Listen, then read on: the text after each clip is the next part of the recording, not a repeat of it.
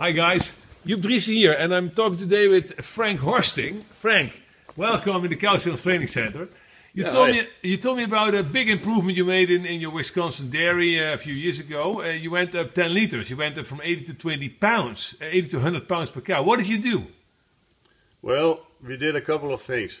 Uh, number one, we uh, we changed the bedding in the stalls. We went from uh, mats to sand. Yeah. Took the mats out, put Yeah. sand in. Yeah, yeah, yeah. That's the first one. That was already a 10 pound uh, gain.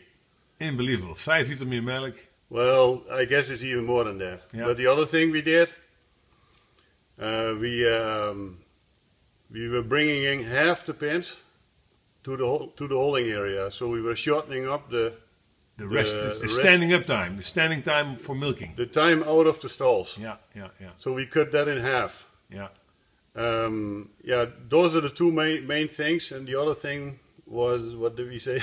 Dat niet wel belangrijkste twee. So Yeah. these, these were the those two are main the two things. main things we changed. Yeah, Uh, in in a in a couple of weeks, we, we went up from 80 pound to 100 pound yeah.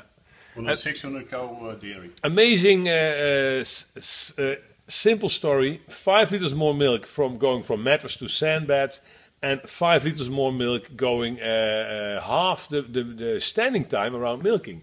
And that's what I see on many dairies in the world. Uh, the cows have to stand five five hours or more uh, during milking, and even after milking being locked up. So if you can drop the standing time on concrete of your cows, so uh, half the milking time. And what he did was just take out 60 cows instead of 120, and then let the rest still eat, and then bring the last 60 when the other 60 are coming back. Simple things, guys, and this is what Cow Signal is all about.